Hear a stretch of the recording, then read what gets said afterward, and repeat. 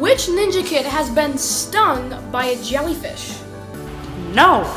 I'd rather sniff my own socks. Heck no. Yep, that was me, but it wasn't that much fun. Which ninja kid has been stung by a bee? Nope, never been stung, thankfully, through how close I've gotten to some of the insects. Yep, that was me too. Yep, I've been stung. Which ninja kid got bit by a black widow? Thankfully, no. Me again.